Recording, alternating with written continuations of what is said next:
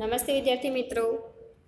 आज हम कक्षा पाँच विषय पर्यावरण, चैप्टर नंबर सात आई लव गुजरात, इसके बारे में चर्चा करेंगे।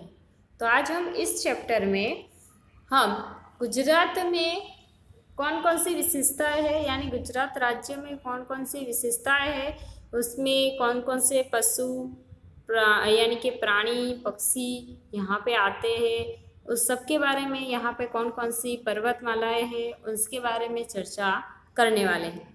तो चलिए शुरुआत करते हैं चैप्टर नंबर सात की। I love Gujarat. यह सुरखाब प्रतिवर्ष गुजरात आता है। सुरखाब गुजरात का राज्य पक्षी है। सुरखाब विदेश से आने वाले पक्षी है। सुरखाब के साथ अन्य पक्षी भी आते हैं। विदेश से आने वाले पक्षियों को प्रवासी पक्षी कहा जाता है। ये पहले पैराग्राफ में दो तीन चीज़ें आई गई है, आई है, वो ध्यान रख लेना। पहला है कि हमारे, यानी कि गुजरात राज्य के राज्य पक्षी के तौर पे किसको पहचाना जाता है तो वह है सुरखाब। यानी कि गुजरात का राज्य पक्षी कौन सा है? तो कि सुरखाब। और दूसरा कि सुरखाब हमारे गुजरात में रहता नहीं है, लेकिन वह प्रतिवर्ष ठंडी की मौसम में यहाँ पे आता ज़रूर है। यानी कि विदेश से आने वाले पक्षियों को प्रवासी पक्षी कहा जाता है। यानी सुरखाब है क्या? प्रवासी पक्षी। आगे देखिए है, अरे गुजरात आ गया है। यानी कि सुरखाब बोल रहा है, अरे गुजरात आ गया है, ऐसा लगता है। इस बार तो संपूर्ण गुजरात देखना है। सुरखाब इस साल जब गुजरात में आया, तब वह दूर से देख कर बोलता है, लगता है कि गुजरात आ गया है। अब मुझे इस साल तो पूरा गुजरात घूम के ही जाना है। चिंकारा आइए सुरकाब भाई, गुजरात में आपका स्वागत है। मैं आपको कच्छ का रेगिस्तान दिखाऊँ। ये जो बाजू वाले चित्र में जो ये हिरन जैसा दिख रहा है, वो चिंकारा है, जो रेगिस्तान में रहता है। इसलिए वह कहता है कि सुरखाब को कि आइए, मैं आपको रेगिस्तान दिखाता हूँ, ये कच्छ का रेगिस्तान। सुरखाब यहाँ नमक अधिक उत्पादित होता है ना? सुरखाब कहता है कि यहाँ पे देश का देश का जितना भी नमक पकता है, उससे, उसका सबसे ज़्यादा नमक का उत्पादन हमारे कच्छ में ही होता है। चिंकारा हाँ हमारे देश के नमक के कुल उत्पादन का आधे से अधिक नमक का उत्पादन कच्छ के छोटे रेगिस्तान में होता है। इसके अतिरिक्त कच्छ की खाड़ी में स्थित कंडला बंदरगाह देश का दूसरा, दूसरे क्रम का सबसे बड़ा बंदरगाह है। यहाँ देश से, यहाँ से देश विदेश का व्यापार होता है। हम देखते हैं कि हमारा जो भी व्यापार होता है, यानी वाहन व्यवहार है, वो तीन तरीके से चलता है। सॉरी तीन तरीके से, यानी कि पहला होता है कि मार्ग परिवहन से, दूसरा होता है रेलवे मार्ग से, तीसरा होता है हवाई मार्ग से, और चौथा हमारा होता है जल मार्ग से। और जलवायु से यानी कि समुद्र में जो बोटें जाती है, उसमें जो भी माल सामान है, वो एक देश से दूसरे देश तक या दूसरे जगह तक पहुँचाने का जो होता है, उसे जल व्यवहार कहते हैं, यानी जल से पहुंचाना। तो ये व्यापार का सबसे बड़ा केंद्र है कंडला का बंदरगाह। कंडला बंदरगाह पे सबसे ज़्यादा मात्रा में, यानी कि सबसे जल्दी, ज़्यादा वहाँ से व्यापार होता है, हमारे देश से दूसरे देशों के साथ, इस तरह से। तो हमारे कच्छ क्या दो चीज़ें दो चीज़ें जानी जाती है। एक है कि देश का सबसे ज़्यादा नमक उत्पादित करता वहाँ कच्छ का छोटा रण है और दूसरा कि कच्छ में आया हुआ कंडला बंदरगाह हमारे देश का दूसरे क्रम का सबसे बड़ा बंदरगाह है, जहाँ से देश विदेश का व्यापार होते हैं, यानी कि माल का परिवहन होता है। सुरका, बहुत अच्छा। आपने मुझे आज कच्छ का परिचय कराया। मुझे पूरा गुजरात देखना है तो मैं जाता हूँ। आइएगा, हम गए ने ऐसा बोल के सुरखाब चला गया, सुरखाब अब दूसरी जगह पे गया एक और चीज़ कि कच्छ के बन्नी क्षेत्र में उगने वाला घास, एशिया की सबसे लंबी घास है। ये चीज़ याद रख लेना, बन्नी घास कहाँ पे होता है कि कच्छ के बन्नी क्षेत्र में और वो पूरे एशिया खंड का सबसे लंबा घास होता है, यानी कि सबसे लंबी घास वहाँ पे उगती है। फिर आगे है आपके गाँव में, सोचकर कहिए मैं, आपके गाँव में बाहर से कौन कौन से पक्षी आते हैं? हमारे गाँव या हमारे शहर में भी बाहर से आने वाले पक्षी होते आपने ध्यान नहीं दिया होगा। लेकिन कुछ पक्षी ऐसे होते हैं जो यहाँ के होते हैं और कुछ पक्षी बाहर से आते हैं जो ठंडी की मौसम में ही हमें आते हुए दिखाई देते हैं। तो जो बाहर से पक्षी आते हैं, उनके नाम लिखने हैं आपको। फिर है विदेश से पक्षी अपने राज्य में क्यों आते हैं? विदेश से पक्षी अपने राज्य में कब आते हैं? या अपने ज़िले, राज्य में कब आते हैं? जब ठंडी की मौसम होता है, जब ऋतु परिवर्तन होता है, यानी कि ठंडी की मौसम में अहमदाबाद के पास जो हमारा सबसे बड़ा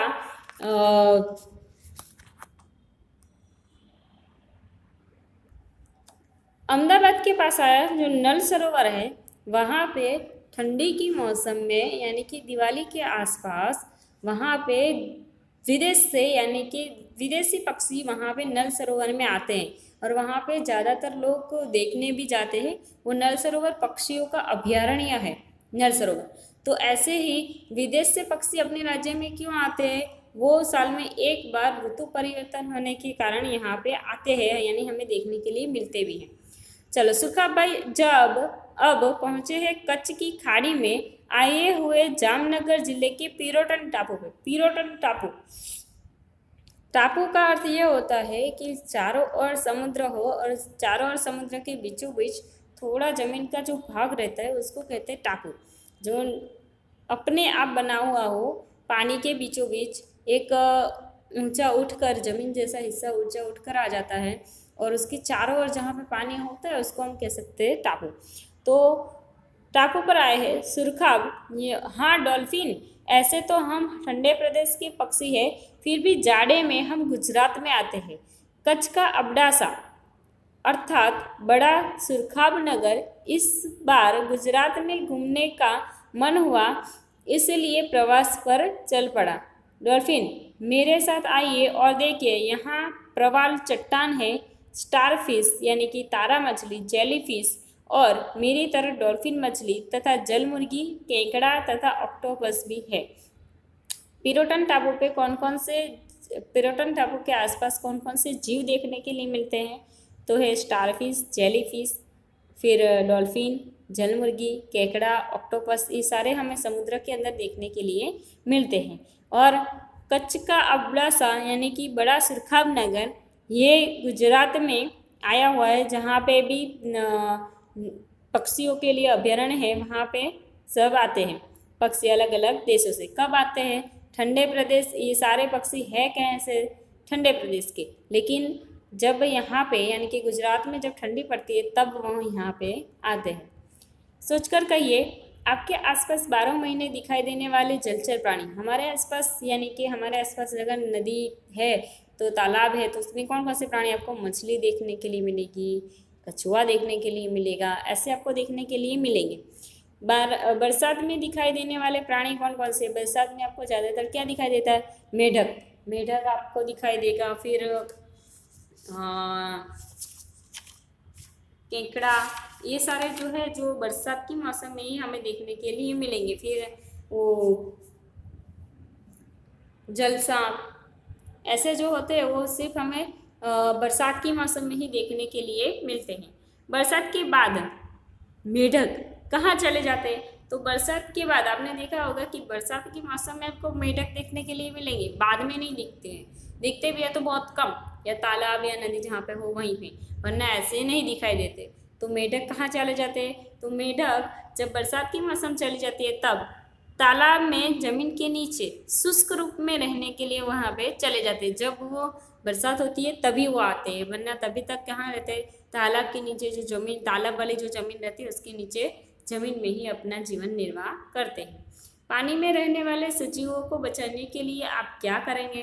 पानी में रहने वाले जो भी प्राणी है, यानी कि जो भी जीव है, उसको बचाने के लिए हमें उनको पूर्ति स्वरूप में, यानी कि पूर्ति मात्रा में पानी मिल पाए और रह सके, ऐसा हमें करना, देखना चाहिए। ऐसा ना हो कि तालाब में पूरा पानी ही सूख जाए, फिर उसके अंदर मछली, जो भी जीव है उसके अंदर वो मृत हो जाए। इसलिए हमें उनका भी ध्यान रखना चाहिए।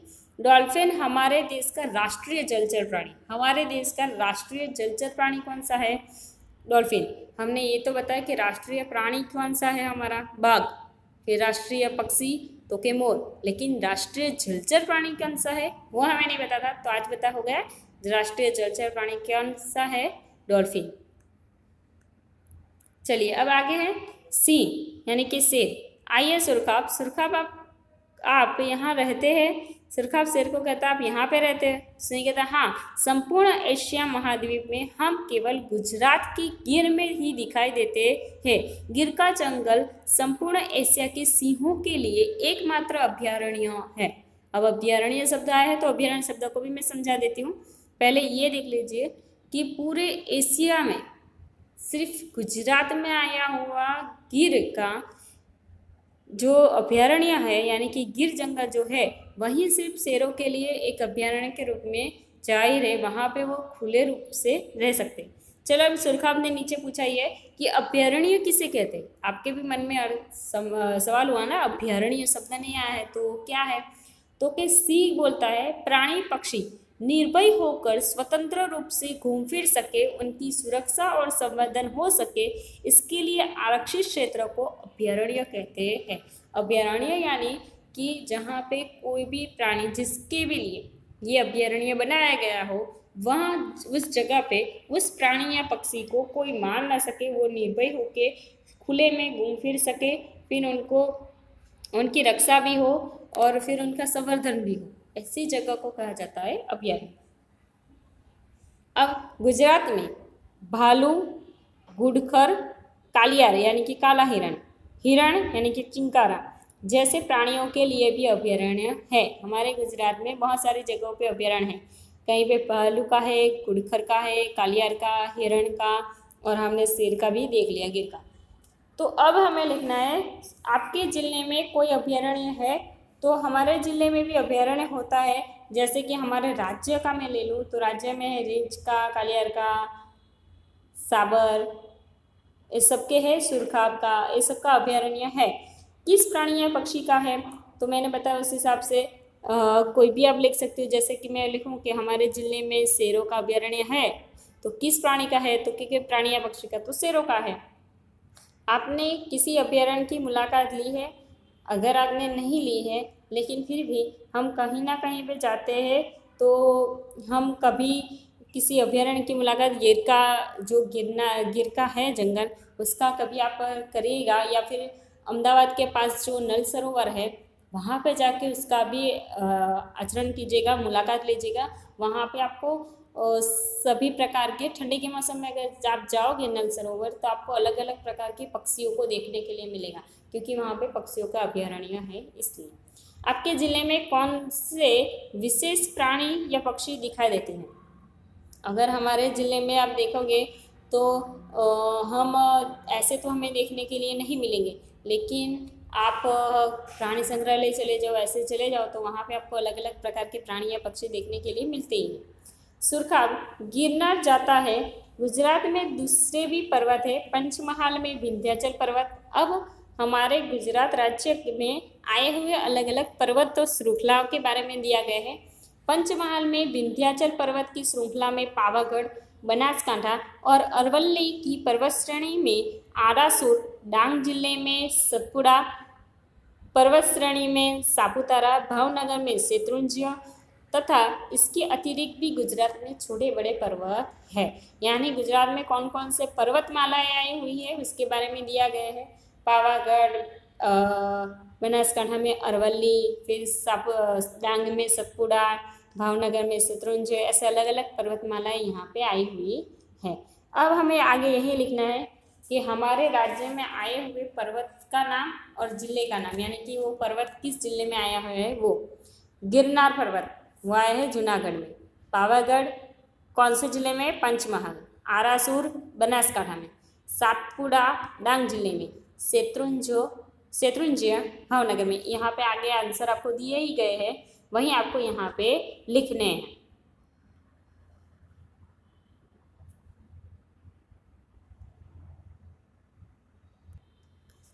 जैसे कि यहाँ पे आया हुआ है कौन कौन सी पर्वतमालाएँ हैं?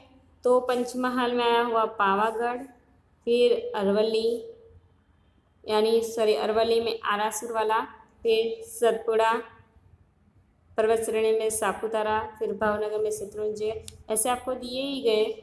वही आपको यहाँ पे लिखना है। किस ज़िले से वो भी यहाँ पे लिखा हुआ है। तो वही आपको यहाँ पे लिखना है। अब चलिए आगे जाते हैं। पढ़िए। गुजरात के लंबे समुद्री तट पर वेरावल में मत्स्य उद्योग का बड़ा केंद्र है। गुजरात का सबसे लंबा समुद्री तट है वेरावल और वेरावल में सबसे ज़्यादा मत्स्य उद्योग, यानी कि मछलियों का उद्योग वहाँ पे होता है। फिर है भावनगर ज़िले में अलंग बंदरगाह पर जहाज़ तोड़ने का बड़ा उद्योग है। ये भी सब कुछ याद रखिएगा परीक्षा में पूछा जाए, ऐसा सब कुछ है? कि भावनगर ज़िले में आया हुआ कौन सा बंदरगाह है जहाँ पे जहाज़ तोड़ने का सबसे बड़ी मात्रा में काम होता है? तो वो है अलंग। यानी कि ये अलंग जो बंदरगाह है, वहाँ पे सबसे बड़ी मात्रा में जहाज़ तोड़ने का काम होता है। फिर ये समुद्री तट, वेरावल में मत्स्य उद्योग मत्स्य उद्योग कहाँ पे होता है? तो वेरावल में। फिर डांग के जंगल में बाँस, सादड़ हल्दरवा शीशम और टिमरू के वृक्ष होते हैं। ये सारे वृक्ष कहाँ पे, किस ज़िले में होते हैं? तो कि डांग ज़िले में, डांग ज़िले के जंगल में ये सारे वृक्ष होते हैं।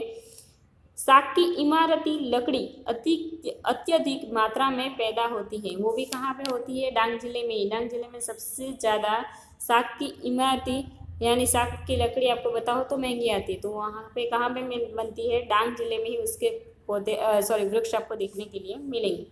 पूरे डांग ज़िले में का अधिकांश भाग जंगल क्षेत्र है। डांग ज़्यादातर जो जिला है, उसमें ज़्यादातर जंगल क्षेत्र ही ज़्यादा है। फिर आगे है, यहाँ पर वगई का सुंदर बॉटनिकल गार्डन तथा गिरादोत, यानी कि गिरा गिरा जल प्रपात भी है। गिरादोत यानी कि जहाँ पे धोत के रूप में पानी फिरता है, प्रपात, उसको कहते हैं। यहाँ पे सबसे ज़्यादा सुंदर बॉटनिकल गार्डन कहाँ पे आ गया है? वगई, और वो भी कहाँ पे आया? डांग ज़िले में। डांग का सापुतारा गुजरात का एकमात्र गिरी केंद्र है। यानी कि हम अलग अलग जहाँ पे राज्यों में जाओगे ना तो सबके घूमने की अलग अलग जगह होगी, जो वहाँ का प्रख्यात होगा। वैसे गिरी केंद्र यानी कि एक पर्वतमाला जैसा वहाँ पे। तो डांग ज़िले में आया हुआ सापुतारा, हमारे गुजरात का घूमने लायक, यानी कि गिरी केंद्र उसको कहा जाता है। गुजरात को अनेक नदियों का प्रदेश है। गुजरात में बहुत सारी नदियाँ हैं, जैसे कि नर्मदा हो गई, साबरमती, फिर महिसागर, तापी, ये सारी नदी हमारे कहाँ पे आई है? गुजरात में।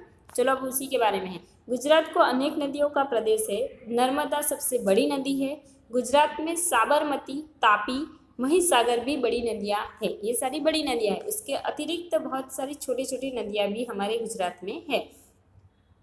नर्मदा नदी नदी पर सरदार सरोवर बाँध। आप सब जानते हो कि आप सरदार सरोवर डैम को। वहाँ पे नर्मदा नदी पर सरदार सरोवर बाँध है। इसकी, इस ऊंचाई सॉरी इस सिंचाई योजना द्वारा गुजरात के बहुत बड़े क्षेत्र में पानी की आपूर्ति की जाती है। कच्छ के अंत तक नर्मदा का पानी जाता है। इस बाँध के कारण बिजली भी पैदा होती है। नर्मदा का सदर सरोवर बाँध आप सबने सुना है, कितने लोगों ने तो देखा भी होगा। इसको अगर हमने देखा हो, इस बाँध की रचना होने के बाद, यानी कि बाँध के बंध जाने के बाद, उसमें पानी का संरक्षण, पानी का रोकने के बाद उसमें से जो पानी निकलता है, उसको अलग अलग राज्यों तक, यानी सॉरी अलग अलग ज़िले तक पहुँचाया गया है। वो होती सदा सरोवर डैम हमने देखा हो तो राज राजपीपला के आसपास आया हुआ केवड़िया के पास बना है। लेकिन उसमें जो बाँध बना है, उसके कारण वो हमारे पूरे, यानी कि नर्मदा नदी का जो भी पानी है, वो कच्छ के अंत तक गया हुआ है। यानी कि उसको अलग अलग रूपों में, पद्धति से, यानी कि नहर द्वारा ऐसे उनको सिंचाई के रूप में वहाँ तक पहुँचाया गया है। और इस योजना के कारण बहुत सारे जिलों में पानी की जो खपत होती थी, यानी कि गर्मी के मौसम में जो पानी कम हो जाता था या जो भी किसान थे उनको बीज बोने में उनको पानी नहीं मिलता था, उनका बीज बोया हुआ वेस्ट जाता था तो सबको बचाया। अब ज़्यादा वो लोग पानी से अपना अनाज, यानी कि अपना जो भी धान रोप रहे हैं, उसका अच्छे से पूर्ति हो जाती है, यानी कि पानी की अब उनको खपत नहीं होती। वो किसके कारण संभव हुआ? नर्मदा नदी के ऊपर बना हुआ सरदार सरोवर बाँध के कारण। है इसके कारण बिजली भी उत्पन्न होती है, यानी कि बिजली बिजली भी सबसे अधिक मात्रा में वहाँ पे पैदा की जाती है। बाँध और पुल दोनों नदी पर बांधे जाते इन दोनों का अंतर क्या है? बाँध और पुल दोनों शब्द आप नदी पे ही देखोगे, यानी कि नदी पे बनाया जाता है। लेकिन दोनों में परिवर्तन क्या है? यानी कि दोनों में तफावत क्या है वो? तो नदी में जो पानी रहता है, उसको संग्रह करने के लिए जो बनाया जाता है उसको हम बाँध कह सकते हैं। यानी कि नदी पे एक बड़ा सा बाँध बना दिया जाता है, जिसके एक और पानी आता है, वो वहाँ पे रुकता है और पानी को जैसे जैसे ज़रूरत हो, वैसे ही उनको छोड़ा जाए। यानी कि जिसमें भी ऐसे दरवाजे बनाए गए हैं। अगर बरसात के मौसम में आप न्यूज़ देखते हो ना तो आपको बताया जाता है कि इतना पानी आने पे इतने दरवाजे खोले गए, बाँध इतना खोला गया जिससे पानी आया। तो क्या होता है कि उसको पानी को संग्रह करने के लिए एक बनाया जाता है, जिसमें पानी ऊपर से जितना भी आता है वो संग्रह होता है। फिर अगर अधिक मात्रा में पानी आता है तो थोड़े थोड़े दरवाजे खोल के वो उस पानी को नदी में यानी कि आगे बहने के लिए छोड़ा जाता है। तो ये बाँध बाँध यानी कि पानी को संग्रह करने के लिए जो बनाया जाता है उसको हम बाँध कह सकते हैं। और पुल यानी कि नदी के एक किनारे से दूसरे किनारे की ओर जाने के लिए पुल का उपयोग करते हैं। आपने देखा वो तो तापी नदी पे पुल बना है नाना वराछा और मोटा वराछा को जोड़ता हुआ। तो वो क्या होता है, इस जगह से उस जगह यानी कि नदी के एक किनारे से दूसरे किनारे के जाने के लिए एक जो पुल बनाया है, वो जो बनाया जाता है, उसको हम कह सकते हैं पुल। अब लिखा है, हमारे ज़िले में जो भी, ज़िले की नदियाँ, यानी कि हमारे ज़िले में जो भी नदियाँ हैं, उनके नाम लिखने अगर हम सूरत में रहते तो मैं बोल देती हूँ कि तापी नदी।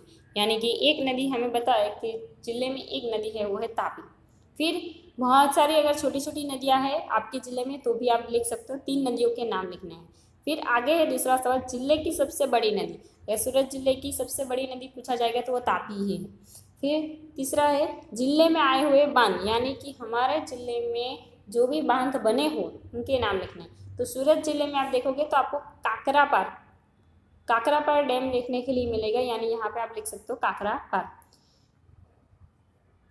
नर्मदा नदी से सुरखा भाई आनंद की अमूल डेयरी महिसागर का कंडाणा डैम देखकर उड़ते उड़ते गुजरात की राजधानी गांधीनगर पहुँचे। नदी, नर्मदा नदी से वो सुरखा पाए गए हैं आनंद। आनंद की अमूल डेयरी हमारे देश की सबसे पहले नंबर की नदी सॉरी डेयरी है, जहाँ पे दूध का अधिक मात्रा में उत्पादन होता है। तो अमूल डेयरी, फिर उसके बाद हो गए कंडाणा डैम और फिर राजधानी। हमारे गुजरात की राजधानी कौन सी है? गांधीनगर। गांधीनगर गुजरात का सबसे अधिक वृक्षों वाला नगर है। गांधीनगर में सबसे ज़्यादा वृक्ष है। यानी कि सभी नगरों में देखने जाओगे तो गांधीनगर में सबसे अधिक वृक्ष है। सुरखा भाई इंदौरा पार्क तथा महात्मा मंदिर भी गया। वहाँ से साबरमती नदी के किनारे स्थित अब अहमदाबाद भी गया। यह गांधी आश्रम है। गांधी बाबू की जय हो। अरे वाह, काकरिया ताला भी बहुत ही सुंदर है। अहमदाबाद में दो चीज़ें। पहले तो गांधी आश्रम जो साबरमती नदी के किनारे गांधी बापू का जो भी वहाँ पे बनाया गया है तो वो है गांधी आश्रम और दूसरा है काकरिया तालाब। सबसे बड़ा यानी कि अहमदाबाद में आया हुआ कांकरिया तालाब है। वहाँ पे कांकरिया का नेचर पार्क भी है, जैसे हमारे यहाँ पे नेचर, सूरत में नेचर पार्क है वैसे। वहाँ पे भी नेचर पार्क है। वहाँ पे अलग अलग प्राणियों को रखा गया है। आप बोलते हैं ना, जू, प्राणी संग्रहालय, वही। तो वो भी है। और कांकरिया तालाब भी है तो वो भी उन्होंने देखा। नल सरोवर अहमदाबाद और सुरेंद्र नगर ज़िले के बीच आया हुआ पक्षियों का अभ्यारण्य है। नल सरोवर जो मैंने आपको पहले से बताया, वही नल सरोवर अहमदाबाद और सुरेंद्र नगर ज़िले के बीच में आया हुआ अभ्यारण्य है। वो किसका अभ्यारण्य है? पक्षियों का। ठंडी की ऋतु के प्रारंभ होते ही भांति भांति के विदेशी पक्षी आपको यहाँ देखने के लिए मिलेंगे, यानी यहाँ देखने, दिखाई देने लगते हैं। मुझे गुजरात में मज़ा आया बहुत मज़ा आया। I love Gujarat. इसके बाद सुरखाब ने सब कुछ देख लिया। लास्ट में आए नील सरोवर पे और अब बोलते हैं कि हमने गुजरात देखा गुजरात की विशेषता देखी उसमें उसको बहुत सारा मज़ा आया। अब यहाँ पे आपको लिखना है नीचे क्रियाकलाप में सुरखाब द्वारा देखे गए गए जिलों पर पीला रंग भरे। यहाँ पे कौन कौन सी जगह पे गए हैं? उस ज़िले पे आपको आ, लाल सॉरी पीला रंग भरना इसी के साथ हमारा सातवां चैप्टर यहाँ पे समाप्त होता है। Thank you